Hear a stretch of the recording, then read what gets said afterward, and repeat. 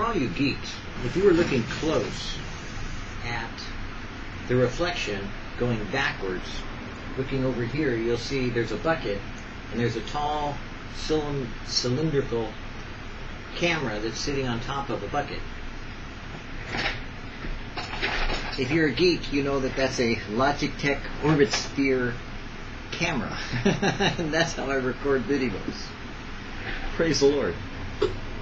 Say, I hope you don't mind, but uh, I'm a little hungry. So I decided to bring my, my lunch. Okay, maybe it's my breakfast, lunch, and dinner. Sometimes I get all those confused because they all seem to blend together. So praise the Lord. I hope you don't mind that. Yum. You see, we had.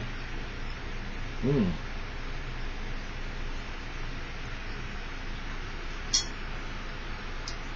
Had spaghetti. And uh, the other night. It was alright, you know.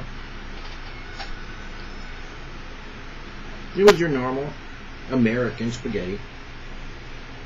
You know, go out.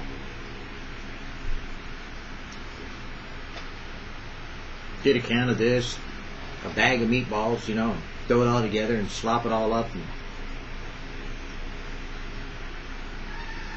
you know, if my wife didn't hate mushrooms, I'd have mushrooms in it, but, you know, slop it together and kind of eat it, you know, and we ate it and, you know, scarfed and acted like Americans, you know. Oh man, do I need gas? I need to. You know. But the point is, is it was fun. Tasted good. But there were leftover noodles. So then, mmm, abundanza. then I took my leftover noodles because my wife already took some, so I waited to see if she was going to take some to work. So she already took her noodles out of it, you know. So the rest of the noodles, haha. I said, "Oh baby, I got some chopped up tomatoes." And so, little cherry tomatoes that are growing in our upstairs, upstairs patio where this year we grew tomatoes. Cut them up, I threw them in. It was nice and chilled spaghetti noodles, so mm, just the way I like it on a hot day. Cut up the tomatoes real small, you know, sort of. Cherry tomatoes too, and cut them up, put them in. Grown in our garden.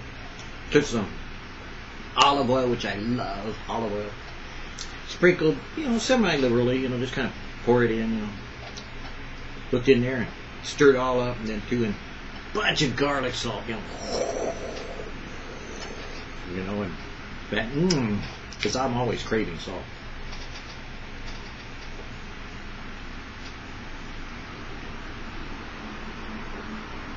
Must have to do with the Pepsi I drink. So I took the salt, you know, and I threw it in there. And the garlic salt, you know, was powdered, you know, with you know California California garlic salt, you know, where it has the extra, I forget, can't think of what it is right now, you know. And so then I took my Johnny's, you know, and then I poured in a liberal uh, portion on top of that too. Ooh, yeah. My MSG, I got some Johnny's that has MSG. Thank God. Man, I need my heart stimulant, you know, I'm getting old, so I like MSG. And quite, quite frankly, I'm tired of you people that can't handle it. I want mine. So I put that in there, you know, and stirred it up, you know. Oh man, making me hungry just talking about it. So I threw that in there and Mmm. Then I took this big old thing of pepper and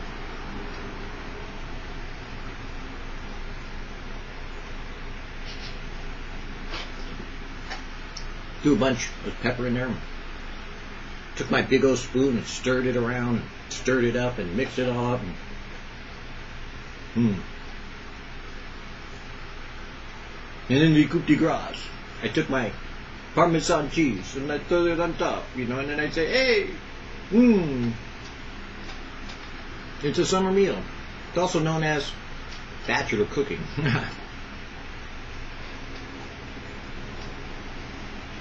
Most guys know how to cook, or if they haven't, they need to learn. Usually, you throw anything together, you put enough spice on it, hey, you can eat it. mm. Just so happens, I was a short order cook for a period of time, and I also worked in a restaurant for a long time. So, I know a little bit about cooking. But God, in His mercy, saved me from myself by giving me a wife and by giving me the opportunity to learn how to cook and how to develop and how to use things that were right here available to me. And that's kind of what God does when His grace has been made manifest to you. He uses what's around you to speak to you according to His mercy. Because you see, nowadays there's this great deal of condemnation that's in the world. You see, Christians are getting frustrated at the world.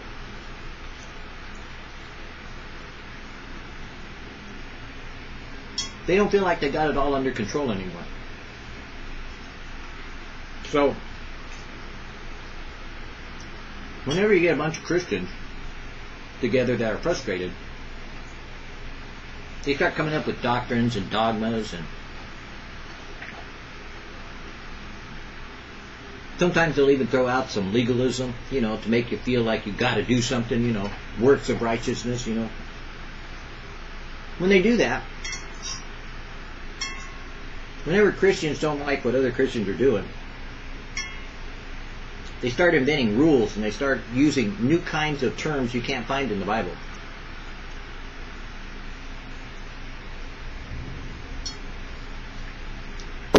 You know, like true Christians, as opposed to false Christians. There are true Christians.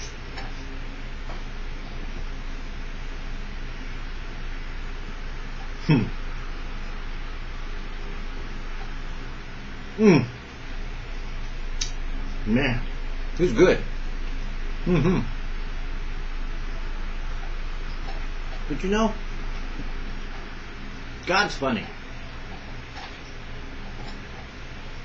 And by the way, that's what, in case you hadn't seen this VidDevo series before, VidDevo Grace,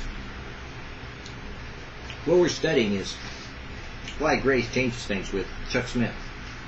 We're studying about how, what, and with this whole idea of grace, what it is, what it isn't, how it is, what it is, what God's going to do with it, how God's going to change you, and how people really don't grasp the fullness of grace because they get into defining it, you know, like I just told you, and they don't like what's going on in the world, or sometimes they don't like what's going on in Christianity. So they have to come up with these terms like true Christian, cheap grace, expensive grace. Um,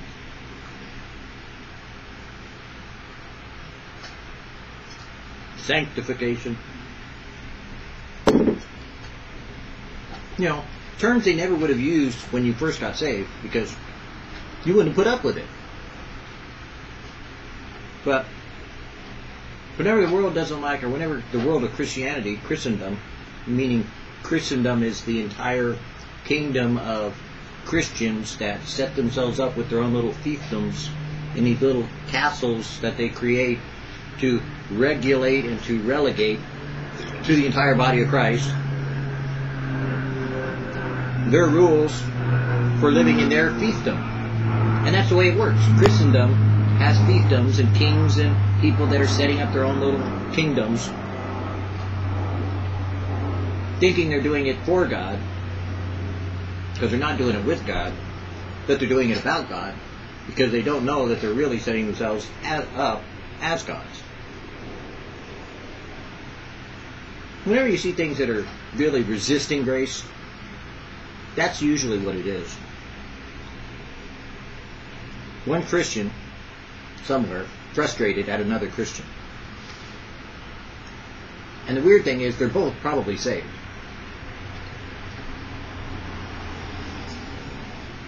They're just having a toe day instead of a hair day, you know, or a nose day instead of a foot day, or maybe an arm day instead of a heart day. It's one of those things.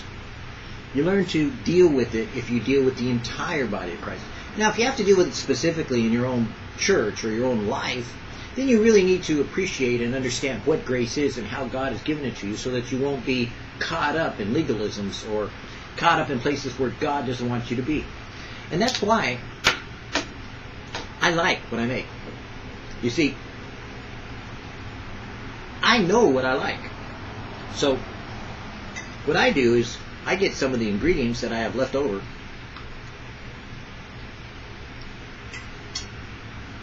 Mm. And I know how to take leftovers. Oh. And make them from what they were, the spaghetti with tomato sauce and meatballs, with some cheese sprinkled on top, and Parmesan cheese. Mmm. Into a garden fresh salad. Perfect for a hot day like today. Just oozing and dribbling, you know, a little olive oil. Oh, just smelling of garlic.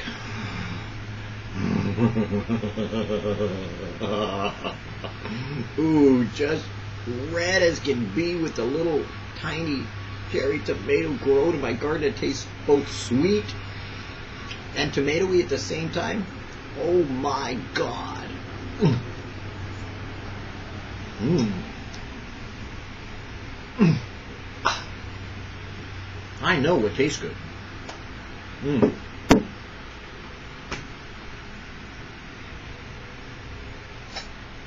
That tastes good.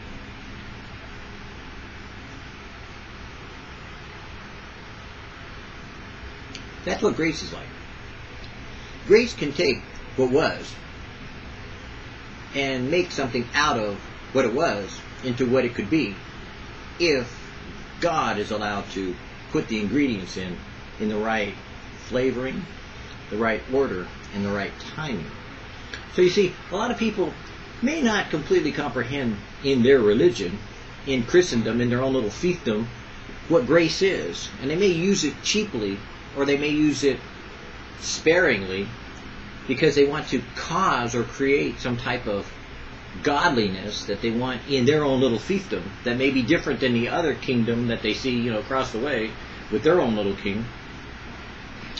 But for most of us, grace is what saved us. So if you're saved by grace, then you ought to live by grace and you ought to move and exist by the grace that God has given you so that you could give to others the same grace that you've received.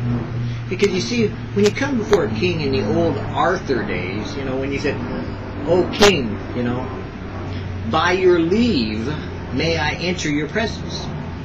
And by your leave was asking for the king to extend his scepter that he would accept you in his court, accept you to come forward allow you to even speak and address him.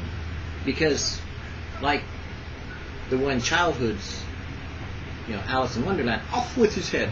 Literally, if you were there and you weren't supposed to be, the guards in the court would terminate you. So it was by grace you were able to appear before the king in the medieval days. But we've been given grace that we could appear before the King every day. And that's what frustrates a lot of Christians right now. You see, they're frustrated because Jesus said Gentiles are kind of funny people.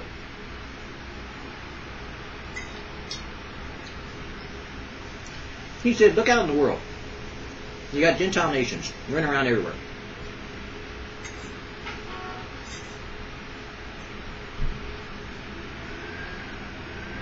Gentiles love to exercise authority over one another.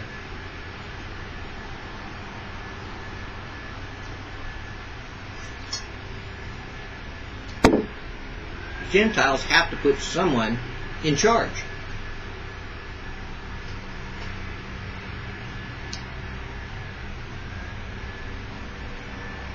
Gentiles really like the political process because they like to get involved in being in charge, putting people in charge, and making people obey that they which they say and the things that they are put in charge over.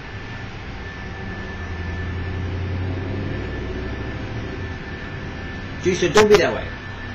Don't be like the Gentiles.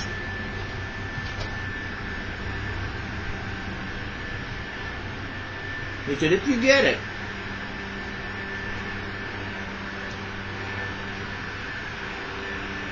if you get it, be like me. Don't exercise lordship over one another, but he that would be greatest in the kingdom be the servant of all. Step down, don't step up. In Christianity today, we don't see servants. We do see a lot of people in charge, and we call them pastors and elders and deacons and ministers and all these guys that are in charge of something.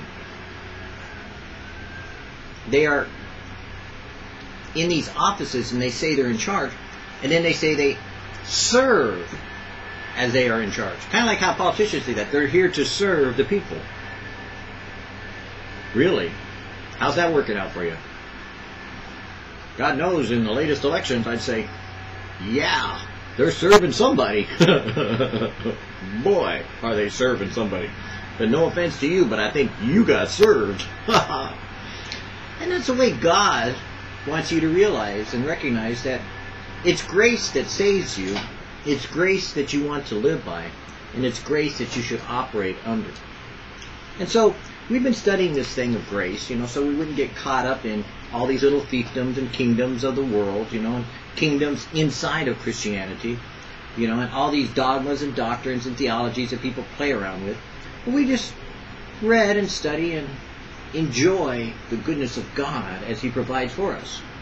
You know, taking leftovers and making something good out of it. That's what you are. You're a leftover, and God's making something good out of you. As wonderful as it is, forgiveness is only half the story of the gospel of grace. There are many people who believe God has forgiven us in Jesus Christ. Where they have trouble is the second half of the good news. That just by believing in Jesus Christ, God accounts us righteous. Not everybody believes that. Not by a long shot. Various groups have established standards of righteousness, yet they seldom agree on what those standards should be. Have you run into that? Have you run into that? You know, I mean, you got saved, right? You know, God saved you.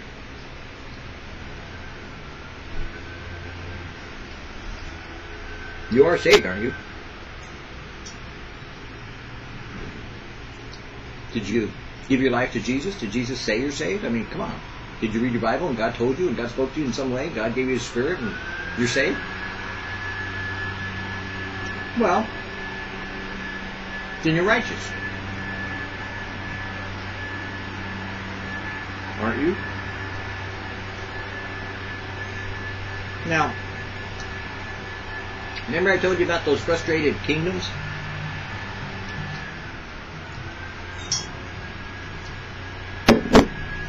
All those frustrated kings, all them running around telling everybody what to do this thing or that thing, you know, wanting to make their own little kingdom, their own little territorial area of trying to make a halo here or something. Expertise.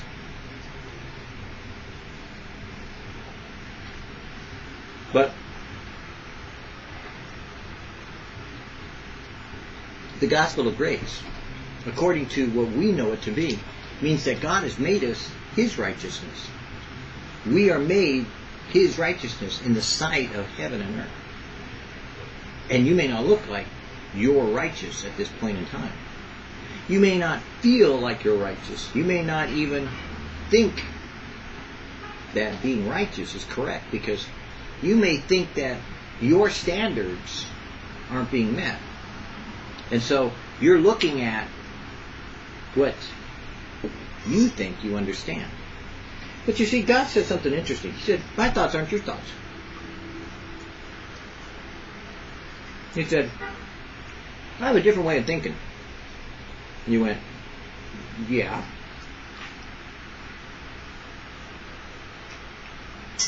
Because I'm God, right? Yeah. I know the beginning from the end. Yeah.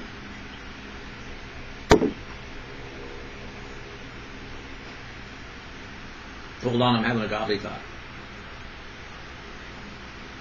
Bing, bing, bing. So if I'm God, and I know the beginning from the end, I know what you're going to do, don't I? Well, I think you do. Well, do I know the beginning from the end? Well, yeah. But you're not in the beginning or the end, are you? Well, no, I'm kind of in the middle. I hope. So, I'm God, right? Yeah. As far as I'm concerned, your life's already over. Well, no, not if I'm talking to you. As far as I'm concerned? Well, yeah, I guess if you know the beginning from the end, God, then you already know what I'm going to do, how I'm going to act, and what's going to happen in the end. Because you wrote that down in the Bible. You told us some things of what's going to happen in the end. So that way we would know that you exist outside of time and that you know the beginning from the end. Okay, so yeah, God, you, you know the beginning from the end. Okay, good. You're catching on now. I'm God, you're not. Sorry, God. So I know the beginning from the end. I know what you're going to do then and in the future. Do you think I should plan according to what you're going to do? Hmm. Yeah. Well, since I know that you're going to do these certain things, and I know how you're going to operate, maybe I could plan whether you're saved or not.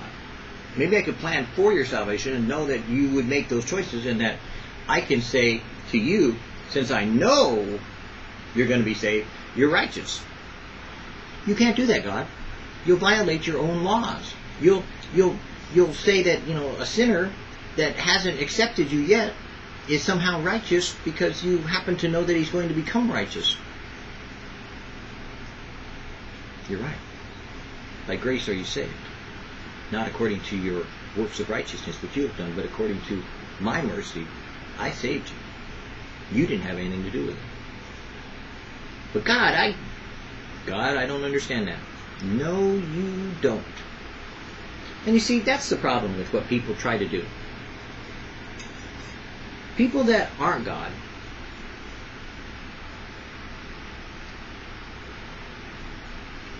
are always trying to play God because they're Gentiles. You can always tell a Gentile. Because he wants to be in charge. Now, if you don't want to be in charge, you're not a Gentile. Maybe you're a Jew and you're serving of all. or better yet, a son of God. But when you seek to be in charge, you're acting like a Gentile.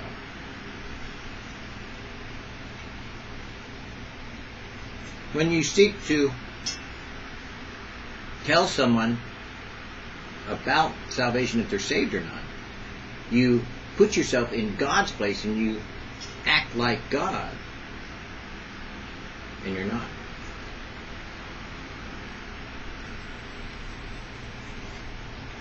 Hmm. When you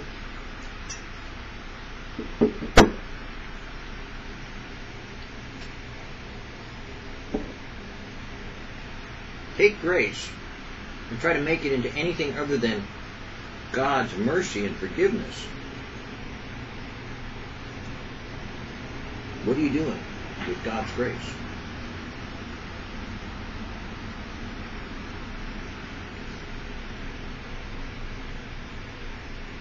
What are you doing with what God says is righteous by making it unholy? But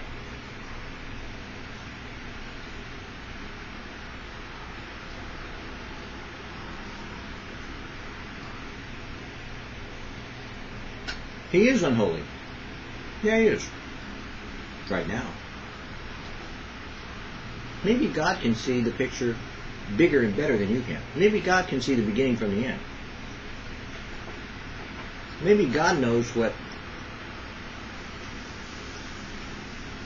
is going to happen in that man's life or that woman's life or that child's life that he could arrange to such a place that they will choose to follow him all the days of their life. Maybe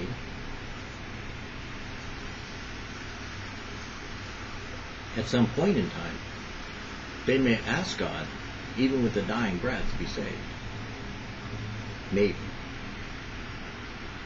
But you see, that's what the difference between grace given, grace bestowed, and grace defined is. When God bestows His grace, no one can take it away.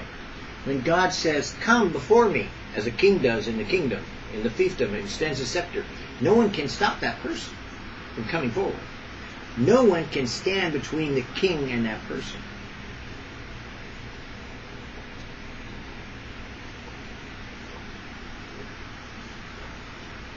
Because it is by the leave of the king, by your leave, O king, or by your mercy, O king, or by your favor, O king, he presents himself before the king.